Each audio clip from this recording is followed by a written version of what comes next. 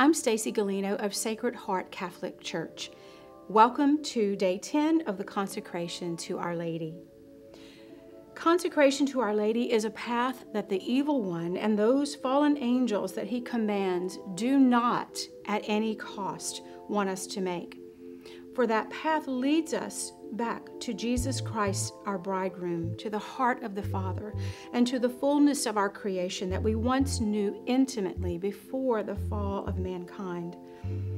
We should not then be surprised by struggles we encounter with fear and doubt a sense of unworthiness of the gift of God's love and mercy, or other disturbing distractions or temptations that may assail us as we pilgrimage through our consecration.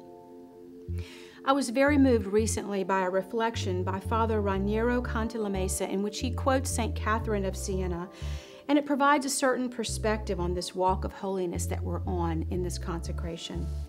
And I'll read a portion of it to you. He says, Do not be afraid. If the enemy continues to make war against you, this might mean that he has still not obtained what he set out to achieve.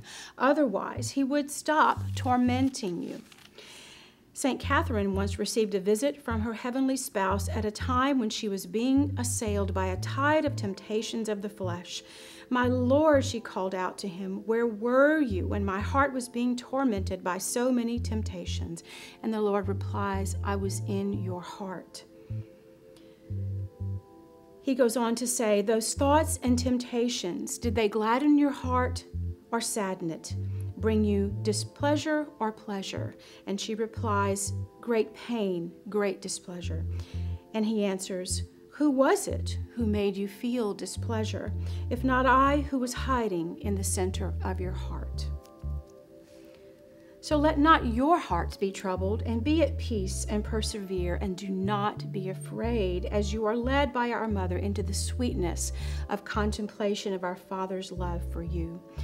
Mary, who most perfectly embodies the pilgrimage back to the heart of the Father, will keep you enfolded in her mantle and protected within the garden of her womb.